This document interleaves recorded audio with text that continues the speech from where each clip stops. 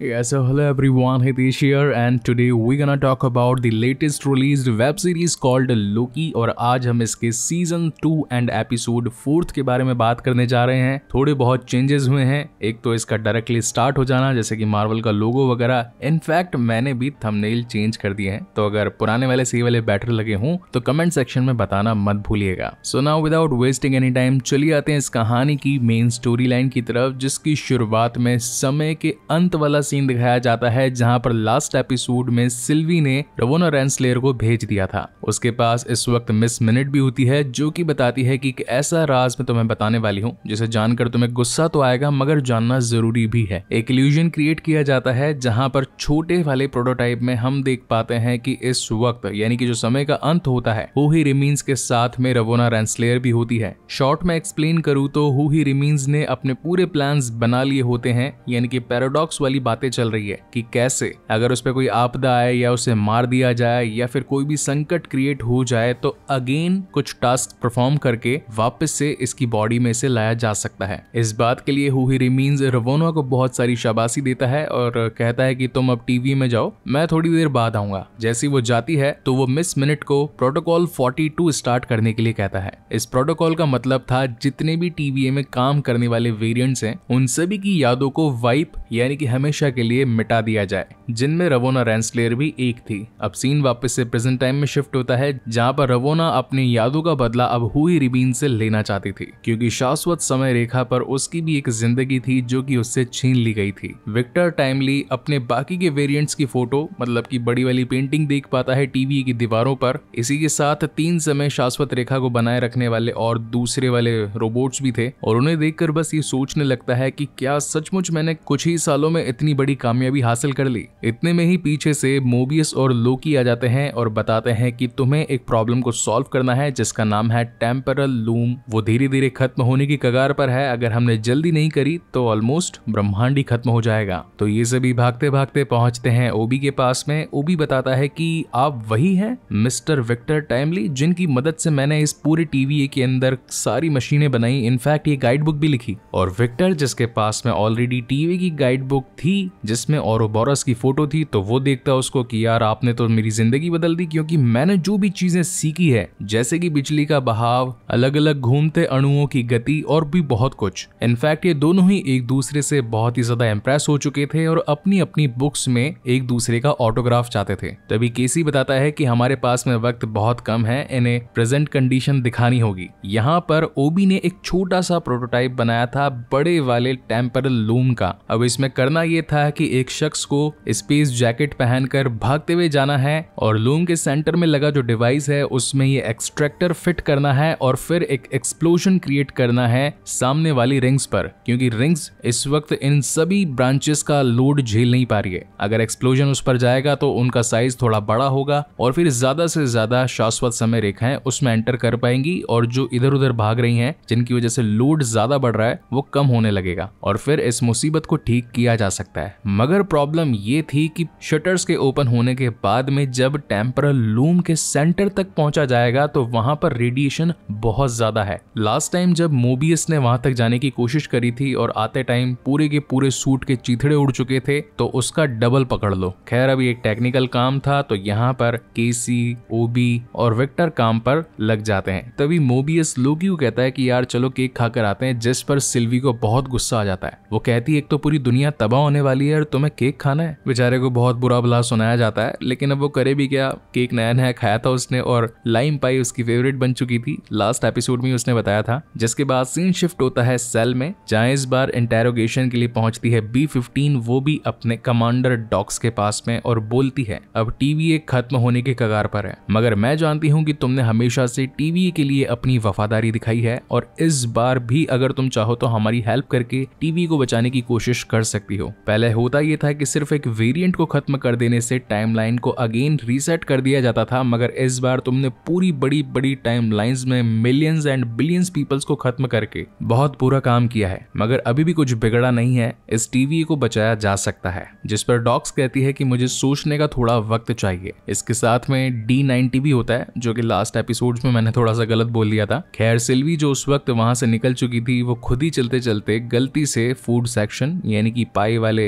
Cafeteria में आ जाती है। लूकी भी इस वक्त यहीं पर मौजूद होता है और इन दोनों के बीच में एक डीप कॉन्वर्सेशन होती है, जिनके मेन मेन ओनली दो पॉइंट्स थे। पहला पॉइंट ये था लूकी का कि अगर तुमने समय के अंत में हु ही रिमीन्स को जान से नहीं मारा होता तो हम दोनों खुद भी इस पूरे टीवी को मैनेज कर सकते थे। और दूसरा ये कि प्रेजेंट टाइम में इनके पास जो विक्टर टाइमली है, वो इस वक्त हु ही रिमीन्स बना नहीं है। अगर उसे मारेंगे तो फिर उसके बाकी के वेरिएंट्स भी आने लगेंगे तो ये गलती करनी ही नहीं है। जबकि सिल्वी का कहना था कि विक्टर टाइमली ही सबसे पहला हु ही रिमीन्स का वेरिएंट था, जिसने अपनी टेक्नोलॉजी की मदद से एक ब्रह्मांड से दूसरे ब्रह्मांडों तक जाने का रास्ता सोचा, फिर अपने वेरिएंटों से मिला। तो अगर उसे आज ही मार दिया जाए तो वो कभी अपने दूसरे वेरिएंटों से मिलेगा ही नहीं, और सारी प्रॉब्लम स्टार्ट होगी ही नहीं। सीन शिफ्ट होता है चेम्बर में, जहाँ सारे के सारे कैदी मौजूद थे और यहाँ पहुँच जाती है Ravonna Renslayer with Miss Minute जो कि इन्हें भी सेम बात ही बोलती है, जो कि थोड़ी देर पहले आकर बी फिफ्टीन ने कहा था कि तुम मेरे साथ आकर मिल जाओ टीवी को तुम्हारी ज़रूरत है। लेकिन कमांडर डॉक्स जान चुकी थी कि मिस मिनट और रवोना रेंसलेयर मिलकर इस टीवी को खत्म करके खुद ही अपने आप को राजगद्दी बनाकर मतलब राजाशाही ठाट चलाना चाहते हैं तो वो इनके साथ मिलने से मना कर देती है और अपने बाकी को भी ऐसा करने के लिए मना कर देती है। मगर हमारा ब्रैड वुल्फ, जो कि अपनी हीरो वाली लाइफ के लिए बहुत ज़्यादा एक्साइटेड था,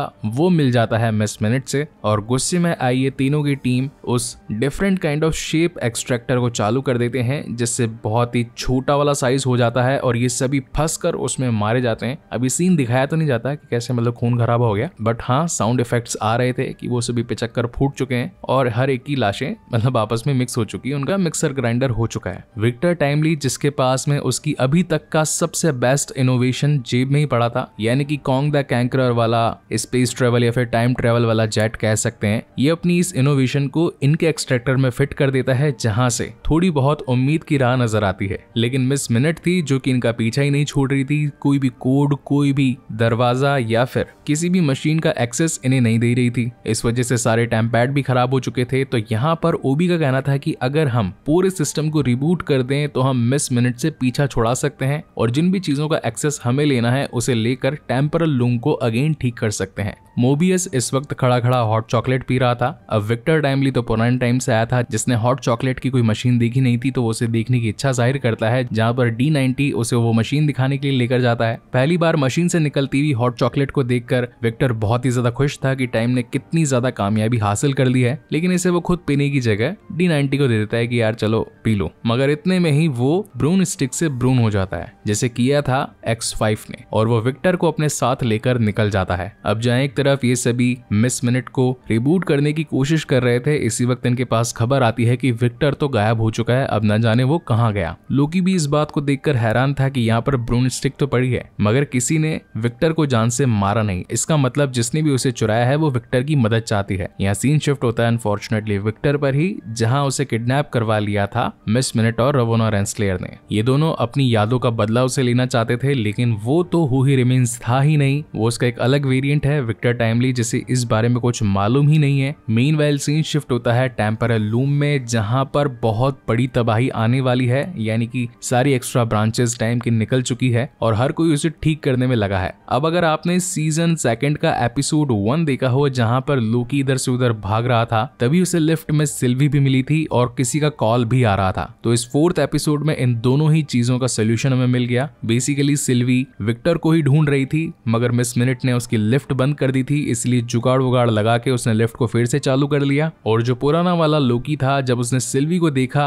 अब उसे होना तो ब्रून था ही, लेकिन इस पास्ट वाले के पीछे प्रेजेंट वाला लोकी आ चुका था, जो कि उसे ब्रून कर देता है। और वहाँ जो कॉल आ रहा था, वो था ओबी का। वो कहता है, भाई, इतनी देर हो गई, अभी तक तुमने विक्टर को ढूंढा नहीं, जल्दी से उसे लेकर आओ। क्योंकि धीरे धीरे करके रेडिएशन बहुत ज़्यादा फैलता जा रहा है। इसका मतलब यह है कि जो बंदा सूट पहनकर उस तक पहुँचने की कोशिश करेगा, उसकी हालत तो खराब हो जाएगी। यहाँ सीन शिफ्ट होता है विक्टर पर मिस मिनट और रवोना रेंसक्लेयर पर। मिस मिनट की हालत भी बिगड़ते जा रही थी और थोड़ा सा एक क्रीपी सीन भी था, क्योंकि जब सिस्टम को रिबूट करते जा रहे थे तो मिस मिनट कह रही थी कि हमें बदला लेना होगा, तुम ऐसा नहीं कर सकते, अब सब कुछ खत्म हो जाएगा। लेकिन तब तक सिल्वी और लूकी वहाँ तक पहुँच चुके थे, उन्होंने वहाँ की लाइट्स बंद कर दी थी और जब एक्स फाइव उनसे लड़ने के लिए जाता है तो सिल्वी उसका माइंड मैनिपुलेट कर देती है। मतलब जैसा कभी वोंडा किया करती थी एवेंजर के टाइम पर और एंड गेम के टाइम पर भी। एवेंजर्स का मतलब एवेंजर्स एज ऑफ़ अल्ट्रॉन की बात कर रहा हूँ। तो अब होता यह है कि सीधा आकर एक्स फाइव अपने ही गुरु मतलब जिससे उसने अभी अभी कमांड्स लिए हैं, यानी कि रेवोना रेंसलेयर उसे ही ब्रून कर देता है। और ये लोग विक्टर को लेकर पहुँचते हैं सीधा टेम्परल लूम जहाँ का रेडिएशन इस वक्त टॉप नॉच था। अब सवाल ही खड़ा होता है कि वहाँ तक, यानी कि एक्सट्रैक्टर को सेंटर में कनेक्ट करेगा कौन? तो पहले लूकी हाथ उठाता है, लेकिन विक्टर कहता है कि ये सारी चीज़ें मुझसे ही जुड़ी हैं, मेरी वजह से ये सब कुछ क्रिएट हुआ है तो मैं जाऊँगा। अब ये भाई साहब सूट वूट पहनकर, हाथ में एक्सट्रैक्टर लेकर जैसे ही शटर्स ओपन होते हैं, बाहर कदम रखते हैं कि पोम मैंने सोचा बहनचो ये क्या हो गया?